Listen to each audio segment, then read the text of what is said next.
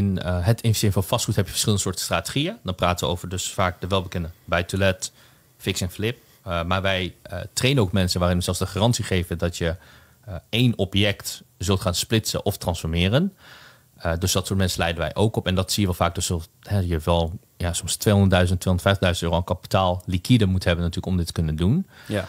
Um, zie jij dan ook bij jouw leden een verschuiving? Of zijn het echt voornamelijk voor een oorsprong eigenlijk alleen buy-to-let investeerders die dan passief die cashflow willen genereren? Ja, dat laatste. Dat laatste, inderdaad. Ja. Dus eigenlijk heb je een groot community van mensen die eigenlijk vermogen hebben gebouwd, allemaal passief lopen investeren in aandelen en uh, vastgoed, dus kennelijk. Ja. Okay. Ja, en nu ook wel, die, die vraag speelt heel veel. Ze, ga, ze gaan nu ook hun sommetjes maken ja. en dergelijke. En dan um, willen ze graag verschuiven naar aandelen. Of in ieder geval niet in vastgoed nog bijkopen in deze markt. Dus ben ik wel benieuwd hoe jij daarnaar kijkt. Want ja, zijn die sommetjes nog rond te maken met de huidige belastingregels? Je, waarschijnlijk, misschien moeten we dat hier niet doen. Misschien moeten we na de tijd doen, omdat je er waarschijnlijk in veel eerdere afleveringen al uitgebreid natuurlijk. Nee, hoor, ik, ik spreken de liefde opnieuw hier, dat is geen probleem. Dus um, wat is je vraag? Dus komen die sommetjes nog uit, bedoel je dan? Ja, kan je in Nederland, als we het even heel simpel, ja. een appartement nog kopen en dat dat nog steeds een een goed rendement oplevert. Een, hoger dan de kapitaalkosten en ook, ja, ook, ook beter dan een indexfonds op de beurs bijvoorbeeld, als je dat mee vergelijkt.